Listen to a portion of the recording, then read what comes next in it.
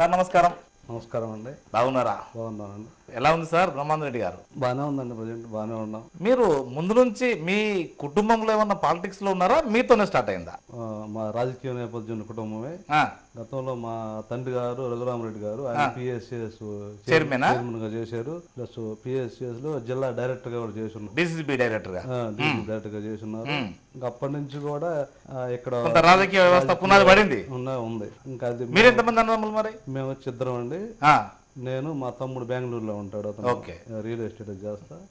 మా సిస్టర్ అయితే మా బావగారు వచ్చి రైల్వే ఎంప్లాయ్ ఆయన. మరి మీకు పిల్లలు? నాకు వచ్చి ఇద్దరు పిల్లలండి ఒక అమ్మాయి ఒక అబ్బాయి. ఓకే. పాప ఇంజనీరింగ్ థర్డ్ ఇయర్ చెన్నైలో. బాబు inter second year Vijayawada Sri చైతన్యం చేస్తారు ఈ రాజకీయ దురద ఎప్పటి నుంచి అంటుంది మీకు? ఇది రాజకీయ దురదే అంటారు కదా? అవునవును. ఖచ్చితంగా. ఎందుకంటే రెండు వేల నాలుగు నుంచి. అంటే అంతకుముందు లోకల్గా పాలిటిక్స్లో మా ఫాదర్ ఉంటాడు ఉంటాడు కాబట్టి ఓకే. మాకు కొద్దిగా అటాచ్మెంటా అటాచ్మెంట్ రావడం పోవడం రకరకాల జనాలు. జనాలతో ఉంటుండేది. అది రెండు వేల నాలుగు నుంచి కొద్దిగా మనం ఊరు అంతకుముందు ఊర్లో ఏజెంట్లుగా కూర్చోవటం. Party party? అప్పుడు కాంగ్రెస్. రాజశేఖర రెడ్డి? ఆ. వైఎస్ఆర్ పార్టీ పెట్టక ముందంతా కాంగ్రెస్ నేపథ్యంలో కాంగ్రెస్ మొత్తం. ఒక ఒకగా ఒకగానొక టైంలో దాదాపు నైంటీ పర్సెంట్ ఊరు టీడీపీలు ఉన్నప్పుడు కూడా టెన్ పర్సెంట్ మేము ఉండేవాళ్ళం. టీడీపీకి గట్టిగా ఉన్న రోజుల్లో కూడా మేము కాంగ్రెస్లో ఉన్నాం. మీరు మా కుటుంబం అయితే మొదటి నుంచి కాంగ్రెస్ ఆ తర్వాత వైసీపీ మ్. వైసీపీలో ఉన్నాం. ఓకే. సో రెండు వేల నాలుగు నుంచి వెళ్ళి కొంత స్టార్ట్ అయింది రెండు వేల నాలుగు నుంచి నేను అంటే అంతకుముందు ఊళ్ళో ఉండేవాళ్ళు ఊళ్ళో ఏజెంట్లుగా అట్లా ఎలక్షన్ దగ్గర నుంచి చూసుకుంటూ ఉండేవాళ్ళం మా నాన్నగారితో రెండు వేల నాలుగు నుంచి బయటికి with without with in the village కాకుండా మండల వ్యవస్థలో రెండు వేల నాలుగు అప్పుడు రాజశేఖర రెడ్డి గారు ఫస్ట్ ముఖ్యమంత్రి అయినప్పుడు మండలం అప్పుడు మాకు మార్టూరు కాన్స్టిట్యూషన్ ఉండేది. మాది అప్పుడు దర్శిలో ఉండేది కాదు. మాది అప్పుడు మార్టూరులో ఉండేది మార్తూరులో ఉండేది? మార్టూరు. అంటే తర్వాత అప్పుడు రెండు వేల తొమ్మిదిలో దర్శి అయింది. దర్శి. అర్థం. అప్పుడు గొట్టిపాటి రవికుమార్ అని ఆయన కాంగ్రెస్ నుంచి కంటెస్ట్ చేశాడు. ఆయనతో పాటు మేము మండలం అంతా తిరిగి మండలంలో అప్పుడు పరిచయాలు ఏర్పడి మండలం నుంచి బయటకు వచ్చాము. ఊర్లో నుంచి. అప్పటి నుంచి కూడా కొద్దిగా సో ఇప్పుడు ఇది అంటే యునైటెడ్ ఆంధ్రప్రదేశ్ అనే అనే అంశంలో మీ పాత్ర ఏమైనా ఉందా? సమైక్య ఆంధ్ర ఉందండి. అప్పుడు ఆ. సమైక్యాంధ్ర అప్పుడు సమైక్యాంధ్ర కావాలని అప్పుడు ఆ, జగన్ గారు పిలుపునిచ్చారు కదా. జగన్మోహన్ రెడ్డి పార్టీ పెట్టినాక సమైక్యాంధ్ర నినాదమే ఆయన ఎజెండా అయింది. ఎజెండా అయింది కదా.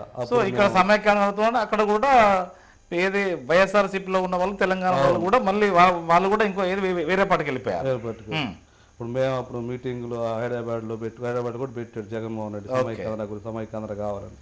అప్పుడు కూడా మేము హైదరాబాద్ ఎక్కడ కొన్ని మీరు చెప్పండి ఇప్పుడు రెండు రాష్ట్రాలు విడిపోయి మేలు జరిగిందా నష్టం జరిగిందా ఏమన్నా? ఒకవేళ నష్టం జరిగితే ఎవరికి నష్టం జరిగింది?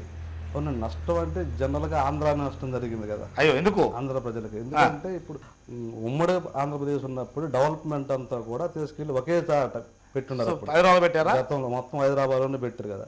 ఇప్పుడు హైదరాబాద్ అనేది తెలంగాణకి వెళ్ళిపోయింది కాబట్టి ఖచ్చితంగా నష్టపోయాం. ఇప్పుడు ఇండస్ట్రీలు.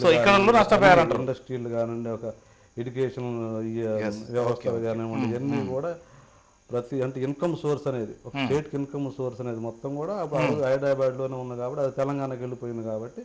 ఇక్కడ ఇన్కమ్ సోర్స్ అనేది తగ్గిపోయింది కదా. ఓకే. సో అంటే మరి మద్రాసు నుంచి విడిపోయినప్పుడు అప్పుడు కూడా ఏమన్నా అది ఆంధ్రప్రదేశ్ అంటే ఏది ఆంధ్ర రాష్ట్రం ఏమన్నా నష్టపోయిందా? అప్పుడు అంటే అప్పుడు కూడా అంతే కదా. అప్పుడు నష్టపోయారు? ఇప్పుడు నష్టపోయారా? అప్పుడు- కూడా ఇప్పుడు మద్రాసు అనేది అప్పుడు ఆల్రెడీ. బ్రిటిష్ టైం నుంచి కూడా డెవలప్ అయిన మామూలుగా ఇది సిటీ కదా. అవును. మరి దాంట్లో నుంచి మనం విడగొట్టి మనం సపరేట్ చేసినప్పుడు ఇప్పుడు ఎప్పుడు అదే పరిస్థితి కదా.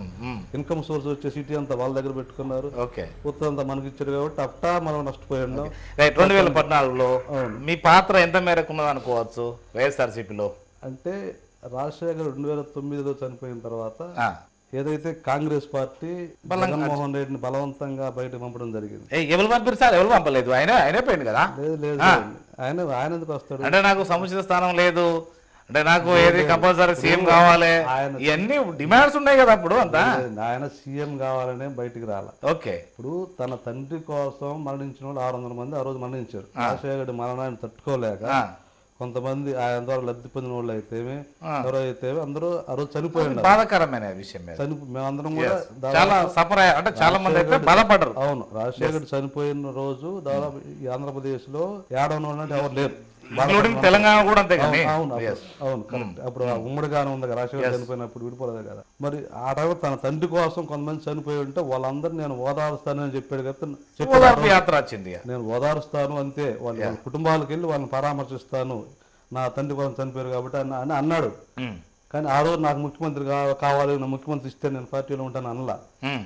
సరే ఫస్ట్ అయితే వాళ్ళు అంగీకరించారు. సరే సో ఇప్పుడు వైఎస్ఆర్సిపి ఫౌండేషన్లో మీ పాత్ర ఏమైనా ఉందా? ఉంది కదా. హండ్రెడ్ పర్సెంట్ ఉంది. జగన్మోహన్ రెడ్డి కాంగ్రెస్ బయటకు వచ్చి వైఎస్ఆర్ పార్టీ పెట్టినాక ఫస్ట్ మేము మండల పార్టీ కన్వీనర్గా ఉన్నాం. ఓకే. ఇప్పుడు ఆ రోజు కూడా నన్ను అంత గతంలో నేను తిరిగి ఉన్నాను కొంత మండలంలో.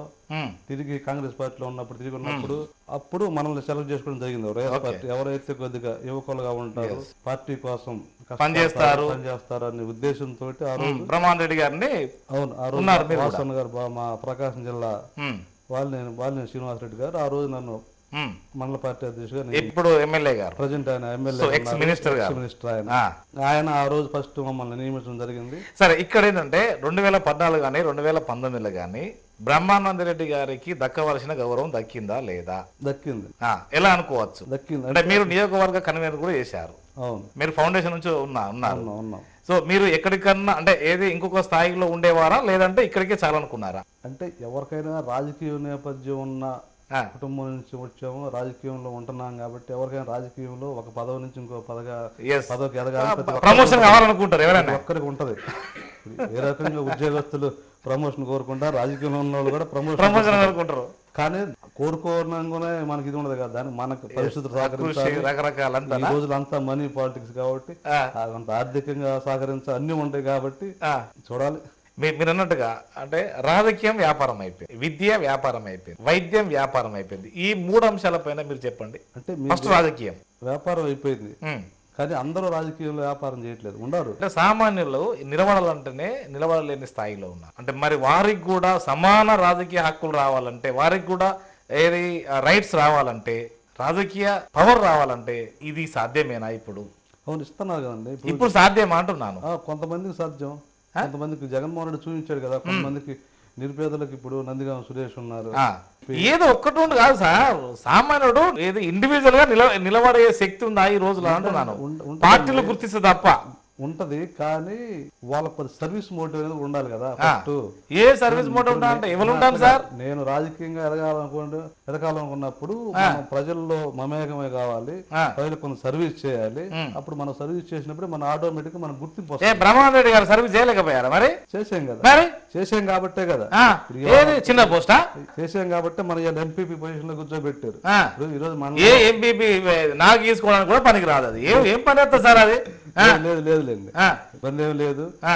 నన్ను గుర్తించారు కాబట్టి మన ఎంపీపీ పదవి వచ్చింది. ఈ రోజు ఎంపీపీ పదవి వచ్చింది కాబట్టి నా వైఎస్ఆర్ పార్టీలో ఉండబట్టి. మీకు రాలేదు. మరి మేడం గారికి వచ్చింది అది అది? ఓకే, కాదంట్లా. డూప్లికేట్ అంటారు. నేను కంటెస్ట్ మేము కంటెస్ట్ చేసిన కాడ ఓసీ లేడీ రిజర్వేషన్ కాబట్టి మేడం గారు ఉన్నారు. లేదు. ఈ రోజు మండలంలో నాకంటే సీనియర్స్ ఉన్నారు. ఆ, నాకంటే ఆస్తిపల్లి ఉన్నారు. ఆ.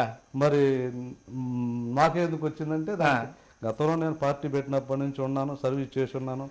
పార్టీలు ఏ రోజు కూడా నేను పార్టీ లైన్ దాటలేదు. పార్టీ లైన్ దాటలే కాబట్టి ఇక్కడ మరి. అంటే ఎందుకు అంటే అంటే ఎప్పుడు కానీ ఇక్కడ. అటు తెలంగాణ కావచ్చు ఇక్కడ కావచ్చు. అంటే అటు టిఆర్ఎస్లో కూడా. తెలంగాణ కొరకు ఎవరైతే పార్టీ ఫౌండేషన్ ఉన్నారో వాళ్ళందరినీ దూరం పెట్టారు. ఇక్కడ కూడా వైఎస్ఆర్ సిపి ఎవరైతే ఫౌండేషన్లో ఉన్నారో వాళ్ళని కూడా దూరం పెట్టారు. ఈ రెండింటికి ఏది మీరు ఓకే అంటారా కాదంటారా? అంటే మీరు చెప్పినట్టు దాన్ని పూర్తిగా ఏకీభవించలేము పూర్తిగా ఖండించలేము. సరే కొంతమంది అయితే మీలాంటి వాళ్ళు అయితే నష్టపోయారు కదా? కొంతమంది అయితే అయిపోయి ఇంకేం? పోయిన సందర్భం పోయారు. ఆ, కానీ గుర్తిస్తుంది మరలా. ఇప్పుడు ఎప్పుడు? మీ ఏజ్ అంత అయిపోయిన తర్వాత పోస్ట్ మామూలు పోస్ట్ ఇచ్చుడా? లేదు, ఆ, లేకపోతే ఏం సార్ ఇది? అందరు ఉన్నప్పుడు అందరికి సముద్ర స్థానం ఇవ్వలేరు ఒకసారి నాకు ఛాన్స్ రావచ్చు ఒకసారి మీకు ఛాన్స్ రావచ్చు. ఒకేసారి అందరూ కానీ ఇప్పుడు సీటు నాగానే అందరూ రిజిస్ట్రేషన్ చేసుకున్నట్టుగా పట్ట చేసుకుంటారు సార్.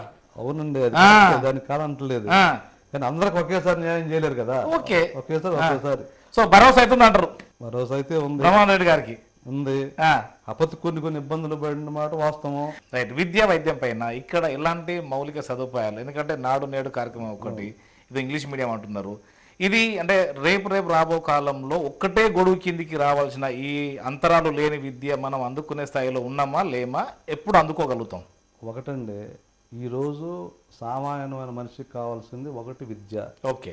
అది జగన్ గారు కూడా అన్నాడు వైద్యం. రైట్ ఈ రెండు. ఈ రెండు విద్య వైద్యం అనేది రెండు కళ్ళు. ఉమ్. పేద. అవి అందరికీ. ఒక పేదలే కాదు ఇది. మీరు అన్నట్టు అందరికి. అంటే అందరికంటే కొంతమంది ఇప్పుడు ఆస్తిపరులు ఉంటారు. వాళ్ళు వాళ్ళ పిల్లల్ని పెద్ద పెద్ద డొనేషన్ కట్టి చేర్పించుకోగలరు. పెద్ద పెద్ద హాస్పిటల్లో చూపించుకోగలరు. ఉమ్. వాళ్ళు కాదు వాళ్ళలాగా పేదోళ్ళకి అందాలి మరి అందుకనే కదండి. ఇప్పుడు ఈ రెండు రెండు కళ్ళు చేసుకునే కదా మన ముఖ్యమంత్రి గారు ఏం చేశారు? ఇప్పుడు విద్య తీసుకోండి. విద్య నాడు నేడు అని ప్రోగ్రామ్ పెట్టారు. ఇవాళ ప్రైవేట్ స్కూల్స్కి నీట్గా ధీటుగా మీరు చూ- మీరు వెళ్ళారో లేదో ప్రతి వెళ్ళాను చాలా సార్. దానికి ఇప్పుడు అమ్మ ఒడి కానివ్వండి. పెను మార్పులు తీసుకొచ్చాడు. విద్యా దీవెన విద్యా కానుక. జగనన్న గోరుముద్ద. ఇవన్నీ కూడా ఇప్పుడు చూడండి పిల్లలు చదువుకోవాలంటే ఆరోగ్యంగా ముందు ఆరోగ్యంగా ఉండాలి. ఓకే. ఆరోగ్యంగా ఉండాలంటే వాళ్ళు మంచి పౌష్టికాలు అందించాలని చెప్పి మీరు చూసారు లేదు పెను మార్పులు ఉమ్. మీ మధ్యాహ్నం భోజనంలో ఓకే. పెను మార్పులు తీసుకొచ్చి వాళ్ళకి మంచి ఉన్నత వర్గాలు ఎప్పుడు వస్తారు ఇళ్ళకు? అది నేను అంటున్నా. నా నా ప్రశ్న ఇక్కడ అది. ఉన్నత వర్గాలు? ఇంకెప్పుడు వస్తారు ఇళ్ళకి? సమాన విద్య రావాలని అంటే వాళ్ళు కూడా రావాలి కదా ఇందులోకి. వస్తున్నారు కదా సార్. ఏడొస్తున్నానికి అంత లేదు. ఎందుకు లేదు సార్? ఇవాళ ఇంగ్లీష్ మీడియం స్కూల్స్ పెట్టారు. నేనే సార్ ఇది పేదవారికి బాగానే ఉంది. ఒకటే కొడుకు కిందకి రావాలంటున్నాను. ఒకటే విధానం ఉండాలి. ప్రైవేట్ అనేది ఉండకూడదు. అవునండి. ఇప్పుడు ప్రభుత్వాలు తీసుకెళ్ళి ఉన్నత విద్య అనేది వాళ్ళని ఉన్న ఆస్తి పనులు తీసుకొచ్చి ఇక్కడ కూర్చోబెట్టలేరు కదా. ఎందుకు పట్టలేరు? అది వాళ్ళకు ఉండాలి. ఒకటే విధానం ఉంటే అప్పుడు వస్తారు అంతే. ఏముండాలా? అంటే గవర్నమెంట్ విధానంలో అట్లీస్ట్ ఒకటి నుంచి డిగ్రీ వరకు చదువుకుంటేనే ఏమైనా ఉపాధి. లేకపోతే ఇక మీకు అసలు ఏ- ఏ- ఎలాంటి బెనిఫిట్స్ రావని ఏదో ఒకటి ఒక చట్టం పట్టుకత్తా అయిపోయా? ఉన్నాయి కదా సార్. ఇప్పుడు KG to. PG. To KG to PG అని. ఇప్పుడు పీజీ నుంచి కూడా పీజీ వరకు ఉచిత విద్య ఉంది. అంటే ప్రభుత్వ స్కూల్లో కావచ్చు కాలేజీలో చదివిన వాళ్ళకే ఉపాధి ప్రభుత్వం అయితే ప్రభుత్వంలో ఉపాధి ఇస్తాము అది గవర్నమెంట్ జాబులు ఏవైనా కానీ ప్రైవేట్లో చదివిన వాళ్ళకు మేము ఇవ్వబడవని ఓటి జీవో పడకత్తా అయిపోయా? తీరా ఏమున్నదల్లా నెక్స్ట్ ఇస్తారో మా సీఎం గారు చూడాలి. అంతేనా? కొన్ని స్టేట్లో పెట్టారు కాబట్టి. ప్రభుత్వ కొన్నిసార్లు పెట్టారు కదా ప్రభుత్వ ఉద్యోగస్తులు ప్రభుత్వ పాఠశాల చదవాలని పెట్టారు. కంపల్సరీ చదవాలి అంతే. అంటే ఇప్పుడు మా ముందు ముఖ్యమంత్రి కూడా నెక్స్ట్ పెడతారేమో చూద్దాం. అంతే. కానీ ఏదైతే పోతే అది విద్య- విద్య గురించి చెప్పాము. వైద్యం. వైద్యం గురించి కూడా ఇప్పుడు అదే ఇప్పుడు ఏ రకంగా అయితే నాడు నేడు స్కూల్స్ డెవలప్ చేసి ఫండ్స్ ఇచ్చేసాడో స్కూల్స్ కూడా మా హాస్పిటల్స్ కూడా మీరు వెళ్ళి చూడండి. ఇప్పుడు మేమే హాస్పిటల్స్ రెండు మా మన రెండు హాస్పిటల్స్ ఉన్నాయి. మారెళ్ళ ముండ్లమూరు ఓకే. మేమే వెళ్ళి ఇక్కడ పరి కొత్త టెస్టింగ్ చేసే పరికరాలు కానివ్వండి ల్యాబ్స్ కానివ్వండి మేము వెళ్ళి ఓపెనింగ్ నుంచి నేను కూడా దాదాపు ఇప్పుడు ఈ గడిచిన రెండు సంవత్సరాలు నాలుగైదు సార్లు గవర్నమెంట్ హాస్పిటల్ టెస్ట్ నేను స్వయంగా చేయించుకున్నాను.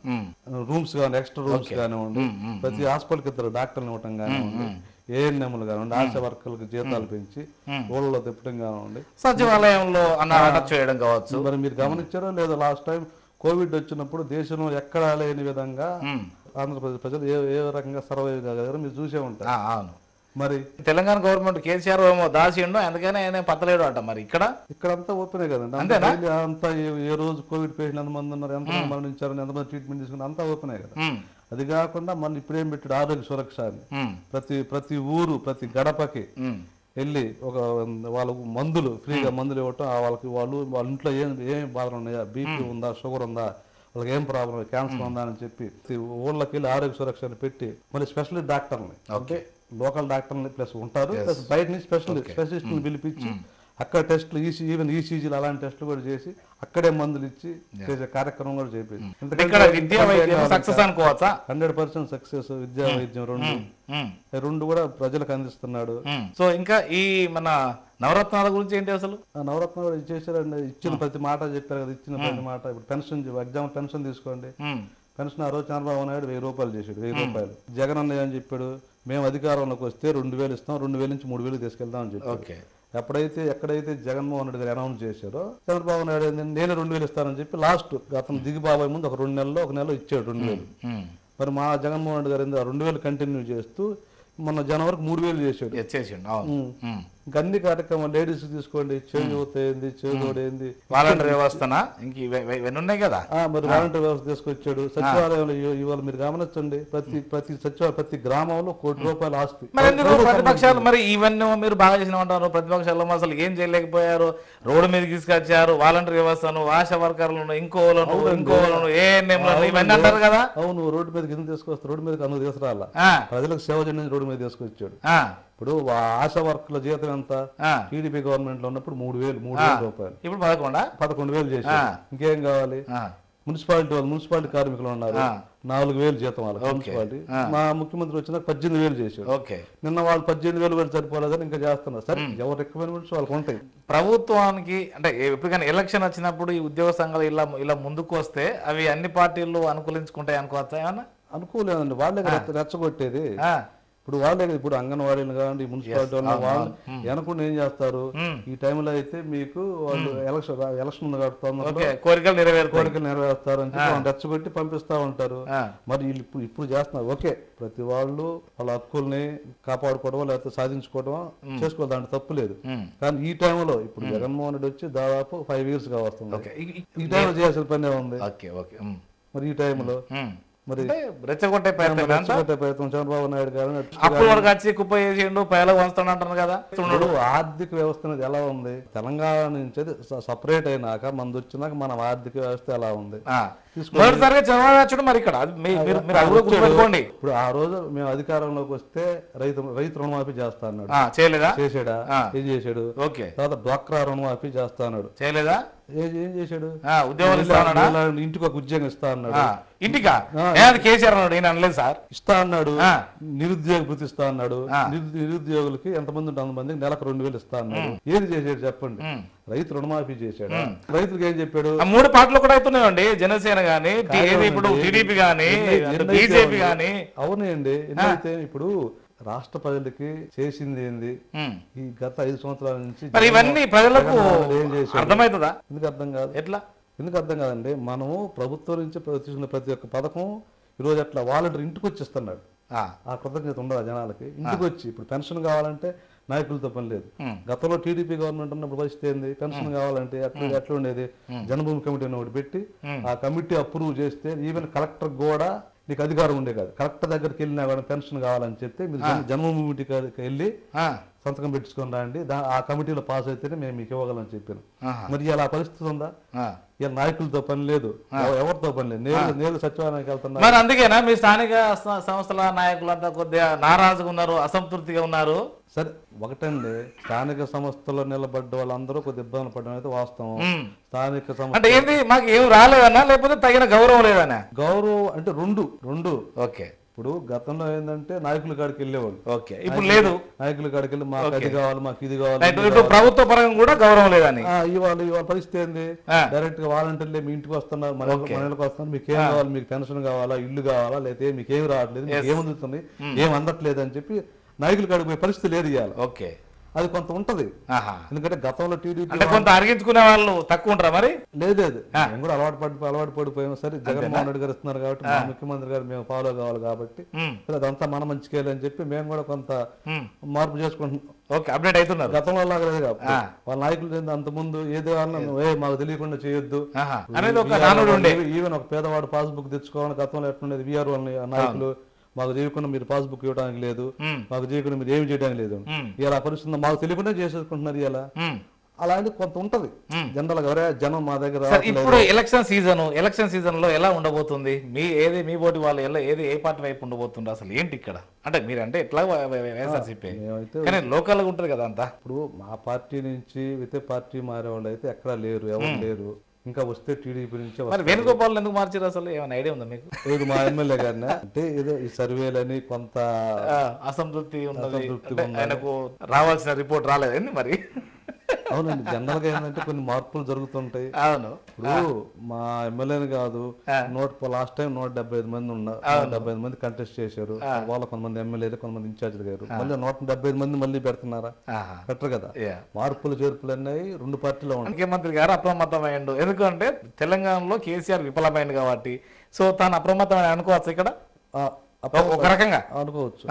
ఉంటదండి. జనరల్గా ఏంటంటే లోకల్ నాయకత్వం మీద ఇక్కడ ఇన్ఛార్జీల మీద ఎమ్మెల్యేల మీద అంటే మా ఎమ్మెల్యేలు ఇంకొక ఎమ్మెల్యేని కాదు కొంత వ్యతిరేకత అనేది ఉంటది. ఎందుకు ఉంటది. ఇక్కడ గ్రూపులు ఉన్నాయి. ఇక్కడైతే రెండు ఉన్నాయి ప్రధానంగా. ఒకటేమో వైవి సుబ్బారెడ్డిది మీరన్న శ్రీనివాస్ రెడ్డిది ఆ ఉండొచ్చు అంత ఇబ్బంది ఏం లేదండి. ఇబ్బంది మరి ఇక్కడ అంటే నా ఎమ్మెల్యేలు ఎక్కువ అంటే నా ఎమ్మెల్యేలు ఎక్కువ ఉన్న వచ్చింది అంతా. ఒకే గ్రూప్ అండి. మేమందరం జగన్ గ్రూప్ వైఎస్ఆర్ గ్రూపే ఆ, జనరల్ లోకల్ గ్రూపులు నేను ఇక్కడ. మాకు గిట్టన వాళ్ళు గిట్ట కదా మా గిట్టన ఛానళ్ళు పేపర్లు ఉండగాడు దాన్ని ఇంత దాన్ని ఇంత ఇంత చూపించడం కామను. ఏది ఇప్పుడు ఇంకోటి వాళ్ళిద్దరు కూడా వైవి సుబ్బారెడ్డి తర్వాత శ్రీనివాస్ రెడ్డి. ఇద్దరు బాబా మొదలే కదా? బాబా మర్దులండి ఆ, ఏమి లేదు కలిసిపోతారు కలిసి చేస్తారు. ఏది? మరి ఎందుకు పచ్చగడ్డ ఎందుకు వేస్తే మండి అంత ఏమి లేదు. ఎందుకు లేదు సార్? ఏమండి ఒకటండి కుటుంబం అన్నాక. బాబా మర్దులు అన్నదమ్ములు అన్నాక ఏ చిన్న చిన్నవి ఉంటాయి. ఓకే. అవన్నీ సర్దుబాటు చేసుకుంటారు ఈ ఎలక్షన్ అప్పుడు కాదు కదా మరి అనేది. అది ఎప్పుడో పెట్టుకోవాలి ఇప్పుడు ఎందుకు? ఇప్పుడు ఏం లేదు అంత సర్దుబాటు అవుద్ది. సర్దుబాటు చేసుకుంటారు ఏముండదు మీ కూడా లేదా ఛానల్ ఏంది దాని ఇంత ఇంత ఇప్పుడు చూపించడం తప్పితే ఏ పార్టీలో లేకుండా లేవు. మా పార్టీలో కాదు ప్రతి పార్టీలో ఈ గ్రూపులు అనేవి ఇవన్నీ ఉంటాయి. అంతిమంగా ఏంటంటే అక్కడ జగన్మోహన్ రెడ్డి సో అంతిమంగా ఎవరి గ్రూప్ ఇక్కడ కొద్దిగా అంటే పై చేయి కింది చేయి ఇక్కడ అనుకోవచ్చు? అంతిమంగా జగన్మోహన్ రెడ్డి గ్రూపే ఉంటది ఇక్కడ. ఆ. ఇక్కడ ఎవరి గ్రూపులు గ్రూప్ ఇప్పుడు ఇక్కడ అది ఆ, శివప్రసాద్ రెడ్డిని అంటే ఏది ఇచ్చి ఎక్స్ఎంఎల్ఏ మళ్ళీ పట్టుకొచ్చి ఇవ్వడము? అంటే ఒక సంకేతం ఏమైనా సంకేతం ఉన్న ఉన్నట్టు అనుకోవచ్చా? తాను ఇప్పుడు ఉన్నటువంటి వేణుగోపాల్ టీడీపీకా లేదంటే జనసేనక పోతుండడానికి కూడా సంకేతాలు వస్తున్నాయి ఇది నిజమేనా? అదేం లేదండి. కాకపోతే రూమర్స్ అయితే ఆడికి జనరల్గా ఎమ్మెల్యే ఉన్నప్పుడు కొత్తగా ఇన్ఛార్జ్ పెట్టారు కాబట్టి. కొంత ఊహాగానాలు ఆ పార్టీలోకి వెళ్తారు ఈ పార్టీలోకి వెళ్తారు అంటే మా ఎమ్మెల్యే అయితే పార్టీ మారుతానని పార్టీ. ఏంది అసలు మరి బాగా నెగిటివ్ ఎక్కడ వచ్చింది? ఏమన్నా కొంత చెప్పగలుగుతారా మీరు? మేము ఏది వేణుగోపాల్ మీద? అంటే ఇక్కడ ఏం జరిగిందంటే స్థానిక సంస్థ లీడర్లను గుర్తించకపోవడమా? లేకపోతే ఇంకేదన్నా ఇక్కడ- ఇంకోటికో తావివ్వడమా ఇక్కడ రెండు గ్రూపులు. ఎలక్షన్- ఇక్కడ. ఎలక్షన్ తర్వాత ఇక్కడ కూడా మళ్ళీ. ఓ ఇక్కడ మినీ గ్రూపులు ఇవి. ఓ జిల్లా గ్రూపులు కాదు ఇది ఇది మినీ గ్రూపులు. బహునాయక ప్రతి ఊళ్ళలో ఏంటంటే బహు- బహునాయకత్వం అనేది తయారయ్యేది. ఓకే. బహునాయకత్వం ఉన్నప్పుడు రెండు పవర్ పాయింట్లు ఉన్నాయి ఇక్కడ. ఏంటి ఏంటి? అదే భుజబల సుప్రసాద్ రెడ్డి వేణుగోపాల్. ఆయన ఎమ్మెల్యే జడ్పీ ఇదే జడ్పీ చైర్మన్ వీళ్ళమ్మ. కాబట్టి బహునాయకత్వం అక్కడ పైన ఉన్నప్పుడు ఇక్కడ లోకల్ లీడర్లు అనే వాళ్ళు ఏంటంటే ఎవరి ఇష్టం వాళ్ళకి వెళ్తా ఓకే. గ్రూపులు తయారయ్యారు. ఇక్కడ ఏక నాయకత్వం అయితే ప్రతి ఊళ్ళో గ్రూపులు ఉంటాయి. ఒకే నాయకుడు ఒకే పవర్ పాయింట్ ఉన్న- ఉన్న ఉన్నట్లయితే ఇద్దరు నాయకులు అక్కడికి ఆ నాయకుడి కాడికి వెళ్ళేవాళ్ళు. కానీ ఇక్కడ రెండో పవర్ పాయింట్ ఉంది కాబట్టి కొంతమంది అక్కడికి కొంతమంది ఇక్కడికి వెళ్ళి. ఈ గ్రూపులు అనేవి. పెంచి పోషించారు. మొత్తం పెంచుకున్నారు. ఇక్కడ మేము ఎందుకంటే ఇది అదే ప్రమాదమైంది ఇప్పుడు ఈ రోజు. పెంచి పోషించాడు ఎందుకంటున్నారంటే ఈ గ్రూప్ విధాన్ని కొంత కంట్రోల్ చేయండి పార్టీ నష్టపడుతుంది అని చెప్పి గతంలో మేము పార్టీ పెద్దల దృష్టికి కూడా తీసుకెళ్ళాం. తీసుకెళ్ళినప్పుడు కూడా ఇక్కడ దాన్ని సరి చేయలేకపోయారు. ఉమ్. అందువల్ల ఏంటంటే ఆటోమేటిక్గా ఇద్దరు నాయకులు ఉన్నప్పుడు ఇద్దరు దగ్గరికి సో రకరకాల వచ్చేసినాయి. ఆయనతో బండి ఈయన కాడికి ఈయన కాడి బండి ఆయన ఆయన కాడికి తిరుగుతుంటారు. అది కామన్ మరి మీరే గ్రూపు బ్రహ్మాండ రెడ్డి గారు ఏ గ్రూపు ఇటు? మేము లేకపోతే ఇటు ప్రసాద్ రెడ్డిదా? మేమంటే శివప్రసాద్. First YSR group. తర్వాత ఎమ్మెల్యే గారు ఇక్కడ కంటెస్ట్ చేశారు. జగన్ గారు పెట్టారు మా పార్టీ తరఫున పెట్టారు వైసీపీ పట్టిన ఎమ్మెల్యే కాబట్టి. మేమైతే ఎమ్మెల్యే గారు ఎంగిడితే ఉన్నాము. తప్పదు కదా. మేము ఎమ్మెల్యే. వైసీపీ ఎమ్మెల్యే కదా ఆయన టీడీపీ ఎమ్మెల్యే కాదు. జగన్ పెట్టిన ఆయన మేము ఓట్లేసి గెలిపించాము. ఐదేళ్ళు ఎంగిటి ఉండాలి కదా.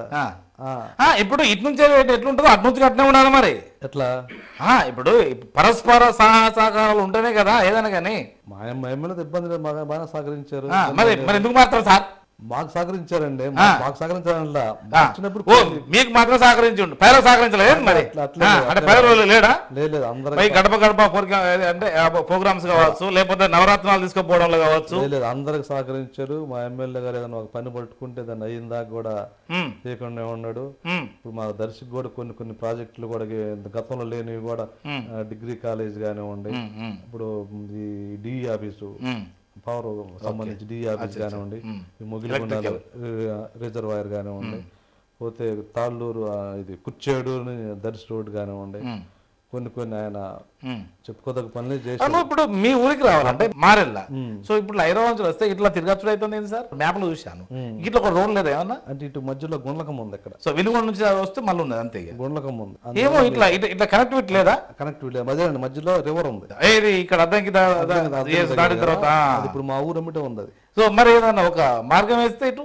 చాలా కష్టం అది. ఎందుకు ఎందుకు కష్టం? ఎమ్మెల్యేలు ఉన్నాక పార్టీ మీదనే అధికారం మీదనే ఎంపీపీ ఇక్కడనే. అంటే ఒకటండి ఇక్కడ అది కాదండి ఈ ఈ మార్చర్లో ఎంపీ ఉన్నప్పుడు కూడా ఇది వేసుకోరా సార్? అంటే ఆల్రెడీ వేస్తున్నారు. బ్రిడ్జి ఓపెన్ అవుతుంది దాదాపు ఒక రెండు మూడు నెలలు అయిపోయింది. కాకపోతే ఇక్కడ ఎక్కువ విలేజెస్ ఏంటంటే అవతల మా కాన్స్టిట్యున్సీలు కాదు. గుండ్లకమ్మ అవతల అద్దంకిలో. ఓకే అయితే? మాది డెడ్ అయ్యి. అయినా కూడా బ్రిడ్జ్ ఉంది అది దాదాపు రాబోయే రెండు మూడు నెలల్లో కంప్లీట్ అవుతుంది అయితే అప్పుడు మీకు కనెక్టివిటీ దగ్గర అయిపోయింది. అదే ఆ. రైడాబెడ్కి మీకు టె- తెలియరు కదా. దగ్గర అయిపోయింది. సో అది మీ ఏమో అయిపోతుంది అంటారా అయిపోయింది అయిపోయింది. ఏమో? అంటే మాయం అంటే ఇప్పుడు కాదండి మాయం ఇంకా త్రీ ఇయర్స్ ఉంది అదే మరి. అయిపోయింది పక్కగా అయిపోయింది. మీరు కూడా మేము అంటే మరేమో ఏది టీడీపీ వాళ్ళు మేమే ప్రభుత్వం ఏర్పాటు చేస్తాం అంటున్నారు కదా. టీడీపీ జనసేన. అవునండి అంటారు. అన- అనుకుని ఎట్టుంటారు మేము ప్రభుత్వం ఏర్పాటు చేస్తాం అదని మీరు అంటారు? వాళ్ళు ఎవరే అంటారు. కానీ ఇప్పుడు ఇప్పుడు పవన్ కళ్యాణ్ ఏమంటున్నాడు. నూట యాభై ఒక్క సీట్ని గెలిపించిన జగన్ ఏమంటున్నాడు? పవన్ కళ్యాణ్ పవన్ కళ్యాణ్ ఏమంటున్నాడు? జగన్ నీ స్థాయి అంతా నువ్వెంత అని మాట్లాడు. ఓకే. జగన్ జగన్ స్థాయి నూట యాభై ఒక్క సీటు. ఓకే. నీ స్థాయి ఒక సీటు. మరి ఆయన కూడా నేను ముఖ్యమంత్రిని అవుతాను అంటున్నాడు మరి దానికి పార్టీ రాజకీయ పార్టీలు అనేవాడు ఎవడైనా ఇప్పుడు కమ్యూనిస్టులు కూడా చెప్తారు. మేము అధికారంలోకి వస్తామని. మేము నైన్టీన్ ఫార్టీ సెవెన్ కన్నా ముందు నుంచి మా పార్టీలోనే అంటారు ప్రజలు. ప్రజలకు ఎవరికి పట్టం కట్టాలో ప్రజలకు తెలుసు. ఈ why not one seventy five అంటే ఏంది? దేనికి అంటే మనం చెప్పుకోవచ్చా? దేనికి నిదర్శనం అనుకోవచ్చు? అంటే మా ముఖ్యమంత్రి వైనాట్ వన్ సెవెంటీ ఫైవ్ అంటే చెప్తున్నాడు. ఎందుకు నూట డెబ్బై ఐదు నూట డెబ్బై ఐదు సాధించలేము అంటే ఆయన చేసిన పనులకు ఎందుకు ఎందుకు రావు అనేది ఆయన నమ్మకం. ఓకే. అంటే నేను కూడా చెప్తాను ఎందుకు రావు అనేది అంటే ఇవాళ తీసుకోండి మీరు. మనం రాజకీయాలకు అతీతంగా. ఆ, కుల మతాలకు అతీతంగా మన ప్రతి ఒక్క పేదవాడికి ప్రతి ఒక్క ప్రజలకి పథకం ఇచ్చింది. గతంలో చూసుకుంటే ఓన్లీ టీడీపీ వాళ్ళకే ప్రభుత్వ పథకాలు కానివ్వండి లబ్ధి పొందేవాళ్ళు. కానీ ఇవాళ ఆ పరిస్థితి లేదు. ఏమైనా ఉందా? ఈరోజు మొత్తానికి వాడు వాడు ఈడు ఈడో పార్టీని ఇస్తున్నాడు.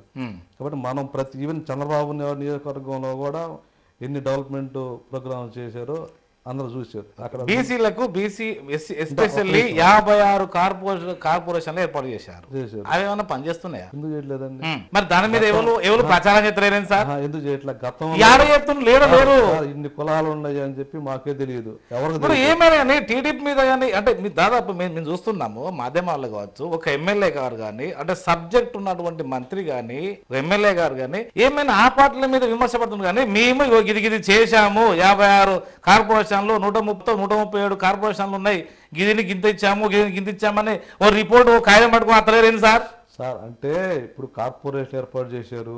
కార్పొరే అన్ని కార్పొరేషన్లు ఇచ్చేయలేం కదా. కొన్ని కార్పొరేషన్ లేదు అమౌంట్ ఇచ్చారు డైరెక్టర్ పెట్టారు చైర్మన్ పెట్టారు వాళ్ళకు గౌరవ వేతనం ఇస్తున్నారు. అవును సార్ ఇప్పుడు అది ఇంటర్లింక్ జిల్లాల నుంచి ఉన్నారు అందరూ. కొన్ని మీరు తీసుకుని అదే నేను నేను మీకే సపోర్ట్ చేస్తున్నా ఇక్కడ. ఇంటర్లింక్ జిల్లాల నుంచి ఒక్కొక్క డైరెక్టర్ ఒక్కొక్క జిల్లా నుంచి ఉన్నారు. అదేనండి అది.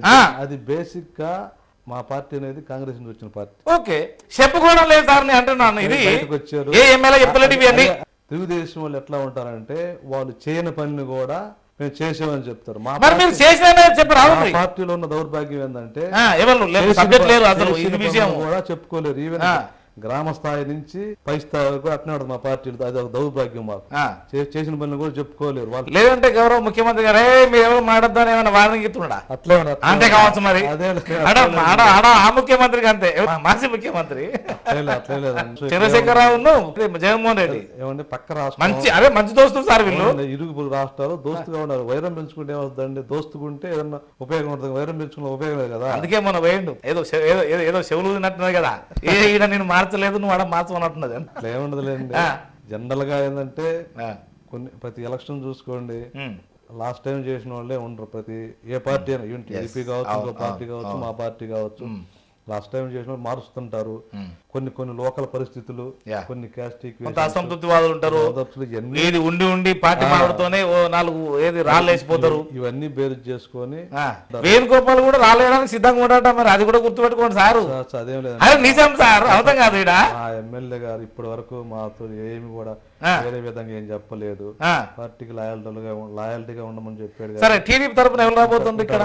ఏమో తెలియదండి అది. ఏదో గరికపాటి అంటున్నారు కదా? అసలు ముందు వాళ్ళు పొత్తు విషయం చెప్పండి సార్.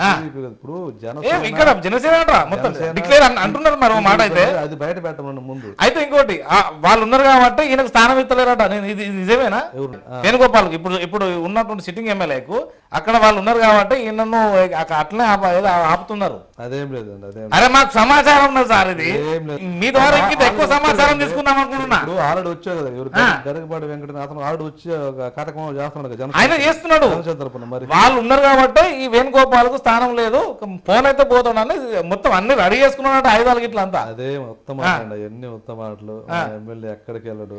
సరే ఇప్పుడు శివప్రసాద్ రెడ్డి వచ్చిన తర్వాత ఎంత మేరకు మీరు లైన్లో కొంత స్పీడప్ పెంచాలనుకోవచ్చు ఎవరు మేమా. ప్రజెంట్ అయితే అట్లా అంటే ఆయన మొన్నగా ఇన్ఛార్జ్ ఇచ్చింది. ఇంకే ఇంకే- పెరగద్దా? అట్లా కాదండి మొన్న ఇన్ఛార్జ్ ఇచ్చింది పది రోజులే కదా. ఆయన అంతా వాటి వాటి అని తెలుసుకోవాలి వాళ్ళలోకి రావాలి. వచ్చినాక ఇంక ఇంక ప్రజలు అలా సహకరిస్తారు ఇవన్నీ. చూసుకోవాలి కదా. సో మరి మీరు ఏ- ఏ- ఏ ఇన్ని రోజులు బట్టి ఒక తవ్వు ఉన్నది. మరి ఇప్పుడు మళ్ళీ కొత్త తవ్వ కదా? మీకు శివప్రసాద్ రెడ్డిది. ఆయన మా పాత ఆయన కదా కొత్త ఆయన ఇది అంటే పాత తవ్వేనా ఇది కూడా? ఆయన ఇంతకుముందు ఆయన రెండు వేల తొమ్మిదిలో కంటెస్ట్ చేసాడు అప్పుడు ఎమ్మెల్యే అయ్యాడు. ఇప్పుడు జడ్పీ చైర్మన్ కూడా పద్నాలుగు ఎమ్మెల్యే గారు రెండు వేల పంతొమ్మిది కాదు పంతొమ్మిది కంటెస్ట్ చేయలేదు చైర్మన్. పరిచయం ఉన్న ఆయన ఆయన మా కొత్త కాదు కదా ఆయన. సో వైనాట్ వన్ సెవెంటీ ఫైవ్కి మీరు ఎంత శాతం మీరు మార్కులు వేయగలుగుతారు? మేము ఎయిటీ పర్సెంట్ వేస్తాం. అంటే ఓ ఎంత? వంద వంద పది వస్తాయి అనుకోవచ్చా మరి? వందకి ఎనభై ఎనభై మార్కులు వేస్తున్నాం. ఇప్పుడు ఓటర్లకు చాలా అలవాటు చేశారు. లీడర్లు. అది ఏదేమైనా కానీ. అంటే ఆ- మూడు రోజులది రకరకాలు ఉంటుంది. ఓటర్లకు ఓటు విలువ తెలుసా? అంటే అందరూ ఉండరు. కొంతమంది తెలుస్తుందండి ఏ- కొంతమంది చేస్తారు. ఏమంటే ఇక్కడ జనాలు ఇప్పుడు ఓటుకి డబ్బులు తీసుకోవడం అనేది మనం ఎవరిని తప్పుపట్టలే అక్కడ విషయం. ఎట్లాగో మాకు ఏం చేస్తాడో చేయడం ఇప్పుడైతే ఇచ్చింది తీసుకుందాం అనుకుంటూ ఉంటారు. అట్లా ఎట్లా సార్ అట్లా ఎట్లా? అనుకుంటారు. మనం ఆ రోజు ఇచ్చే రెండు వేలు మూడు వేలు చూసుకుంటే. ఇప్పుడు ఈ ఐదు సంవత్సరాలు ఒక్క కుటుంబానికి ఎంత వచ్చింది చెప్పండి. ఆ రోజు ఇచ్చి మనం బెరీజ్ వేసుకుంటే. అదే ఇప్పుడు అదే వాళ్ళు అట్లా ఆలోచించి లాస్ట్ టైం కనుక సరే ఓటర్లకు మీరు ఏం చెప్పబోతున్నారు? ఓటు ఓటు గురించి చివరిగా చెప్పండి. ఏముంది? ఉమ్. ఎవరైతే మీకు మేలు చేశారో. గడిచిన ఐదు సంవత్సరాల్లో. ఇప్పటి వరకు. ఇప్పటి వరకు మీ మండల ప్రజలకు. ఈ రోజు వరకు మీ నియోజకవర్గం అంటే మీరు కూడా నియోజకవర్గ స్థాయిలో ఉన్నారు కాబట్టి. అవును. ఏ పార్టీ అయితే మీకు మేలు చేసిందో ఏ పార్టీ వచ్చినాక మీరు మీ కుటుంబాలు అభివృద్ధి చెందినయో ఆర్థికంగా. ఆలోచించుకొని ఓటు వేయండి చెప్తాం మేము. సూటిగా. మా పో- మా పార్టీకి అని మీరు చెప్పరా? చెప్పడం అంటే అట్లా కాదు. బలవంతం చెప్పడం కాదు. ఆలోచించుకో మా జగన్ చదువుతుంది నేను చెప్పేది మా. మా ముఖ్యమంత్రి ఏం చదువుతున్నాడు? నా వల్ల మీ కుటుంబానికి మేలు చేశారంటేనే ఓటేయండి. లేకపోతే ఆలోచించుకోండి అని చెప్తున్నాడు. ఆయన అదే మాట మేమే చెప్తాం. ఈ గడిచిన ఐదు సంవత్సరాల్లో మీకు మేలు జరిగింది అనుకుంటే మీరు అభివృద్ధి చెందారంటే ఆలోచించుకొని ఓటేయండి అని చెప్తాం. ఆటోమేటిక్గా ఎవరికి వేస్తారండి వాళ్ళు? మేము మేము వెళ్ళి మా పార్టీ మేము చెప్పేది ఉమ్. అప్పుడే ఆలోచన చేస్తే వాళ్ళు వేస్తారు. ఇక్కడ రెండు గ్రూపులు లోకల్లో రెండు గ్రూపులు ఉన్నాయన్నారు. ఎక్స్ ఎమ్మెల్యే గారిది శివప్రసాద్ రెడ్డి గారిది ఇప్పుడున్న సిట్టింగ్ ఎమ్మెల్యే గారిది. సో ఇప్పుడు ఈ రెండు కలవాలంటే అంటే ఇది కలుస్తాయా కలవయా? అందులో మీ పాత్ర ఏమైనా ఉంటుందా? అంటే పండే ఒకటండి. ఫస్ట్ మా పాత్ర అనే కాడికి కూడా ముందు ఇప్పుడు ఇన్ఛార్జిగా శివప్రసాద్ రెడ్డి గారిని ప్రకటించారు. ఓకే. ఆయన వేసే స్టెప్ మీద అంత ఆధారపడి ఉంటాం. ఆయన కలుపుకుంటాడా లేదా వేణుగోపాల్? శివప్రసాద్ రెడ్డి గారు. అదే. శివప్రసాద్ రెడ్డి గారు వేణుగోపాల్ కలుపుకుంటాడా లేదా? ఆయన వేసే అడుగును బట్టి ఆయన తీసుకునే నిర్ణయాన్ని బట్టి ఆ. ఇక్కడంతా కూడా ఆధారపడి ఉంటది. అంటే శివప్రసాద్ రెడ్డి గారు కాస్త అది- ఏ మమేకమై అది ఏ విధంగా జనాలను కలుపుకోపోతాడా లేదా ఇంత ముందులానే ఇప్పుడు గ్రూపులు ఉన్నాయి కాబట్టి ఆ గ్రూపులను అలానే మెయింటైన్ చేస్తాడా? అలానే కంటిన్యూ చేస్తాయని అంటే గ్రూపులు ఉండవలసింది అంటారా మీరు? మేమంటలా. ఆ, అది మరి. ఫస్ట్ ఆయన మైండ్లో మారాలి కదా. ఓకే. ఆయన ఎమ్మెల్యే క్యాండిడేట్ యా. ఆయన ఎమ్మెల్యే కావాలంటే ఇవన్నీ ఎంకరేజ్ చేయకూడదు. ఆయన ఎమ్మెల్యే అంటే సామాన్యులు ఓటేయాలి. అదే ఎంకరేజ్ చేయకూడదు. కాబట్టి సహకరించ వేణుగోపాల్ సపోర్ట్ కూడా తీసుకోవాలి. ఎమ్మెల్యే గారి సపోర్టు అటు పోకుండా చేసుకోవాలి. అడుపుకుండా చేసిన బాధ్యత. అదే కదా? అదే అవును. ఇప్పుడు వేణుగోపాల్ గారు మనుషులు అంటూ ఉంటారు కదా. ఇప్పుడు మీరే అన్నారు ఇందాక. ఇక్కడ MLA batch ex MLA batch రెండు. మీరు ప్రజెంట్ ఇన్ఛార్జ్గా పార్టీ మీకు ప్రకటించింది కాబట్టి. ఆయన ఏ విధంగా మమేకం చేసుకుంటారో అది అతని మీద ఆధారపడింది. జనాలను కలుపుకొని ఏ ఏ రకంగా ఇది చేసుకుంటాడో దాని మీద డిపెండ్ అయి ఉంటుంది మెయిన్ కూడా అంతా. బ్రహ్మానంద రెడ్డి గారి భవిష్యత్తు ఎలా ఉండబోతుంది? కాలమే నిర్ణయిస్తుంది. సో మీరు చూశారు కదా? చూద్దాం. ప్రతిదీ కూడా కాలమే నిర్ణయిస్తుంది. నమస్కారం. నమస్తే.